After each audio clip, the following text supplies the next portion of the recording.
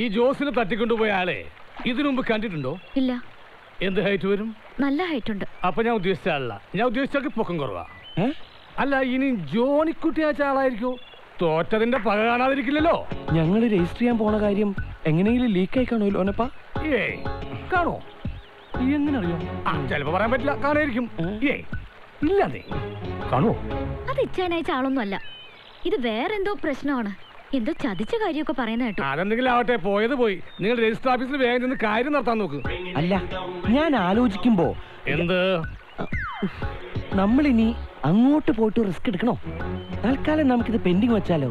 വീട്ടുകാർ വേറെ കല്യാണം ഉറപ്പിച്ചാലും മനസ്സമ്മതം ചോദിക്കുമ്പോ സമ്മതമല്ലെന്ന് പള്ളിയിൽ വെച്ച് പറഞ്ഞ ഒരു കല്യാണവും നടക്കില്ല. നമ്മുടെ സഭയിൽ അങ്ങനെ ഒരു നിയമമുള്ളപ്പോ നമ്മൾ എന്തിനാ വെറുതെ? നിന്നെ കൊണ്ടല്ലോ. നിന്നൊക്കെ വിശ്വസിച്ച് വീട്ടിൽ നിന്ന് ഇറങ്ങി പോന്ന് എന്നെ വേണം പറയാൻ. അവസരത്തിനൊത്ത് അഭിപ്രായം മാറ്റുന്ന ഒരു പേടിത്തൊണ്ടൻ. നിനക്ക് വേണ്ടി വീട്ടുകാരോട് യുദ്ധം ചെയ്യുന്ന ഞാനാ വണ്ടി ഇനി നീ എന്നെ കാണാനോ സംസാരിക്കാനോ വന്നു പോയത് കേട്ടോടാ കുഞ്ഞാടെ. മേരി. അവിടെ പോയി ഒപ്പിട്ട് വെക്കണ്ട മണ്ട. പെണ്ണിന്റെ മനസ്സാ. അത് എപ്പോഴാ മാറുന്നു പറയാൻ പറ്റില്ല. അവൾ പോയാലുണ്ടല്ല. അവൾ പോയ അവളുടെ വീട് വരെ പോവും. ചെമ്മീൻ ചാടിയ ചട്ടിയോളം. എന്റെ പൊന്ന് ലോനപ്പാ. ആ ജോസേട്ടനുള്ള ധൈര്യത്തിലെ ഞാൻ ഈ കളിയൊക്കെ കളിച്ചത്. അതിനിടയിൽ ഞാൻ ഇനി രജിസ്റ്റർ ചെയ്തൊന്നും പുറത്തിറങ്ങിയ. ആ ജോണിക്കുട്ടിയും വീട്ടുകാരും എല്ലാരും കൂടി എന്റെ ബോഡിയിൽ സകല പാർട്ടിയുടെ പൊതുസമ്മേളനം നടത്തും. തൽക്കാലം ജോസേട്ടനെ തട്ടിക്കൊണ്ടുപോയ കഥ ആരും അറിയണ്ട.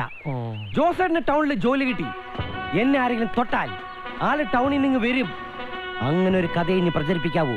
അല്ലെങ്കിൽ എന്നെ അറിയാലോ? ആരാ സോളമൻ ഇനി അയാൾ തിരിച്ചു വന്നാലോ? എന്റെ ഒരു കണക്കൂട്ടിൽ വെച്ച് അയാൾ ഇനി തിരിച്ചു വരില്ല.